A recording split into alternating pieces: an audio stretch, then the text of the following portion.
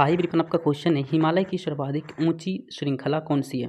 option number first है Kanchenjunga option number second है Karakoram option number third है थर्ड है आपका एवरेस्ट तो Mount Everest option number third is correct answer so thank you like share and subscribe so thank you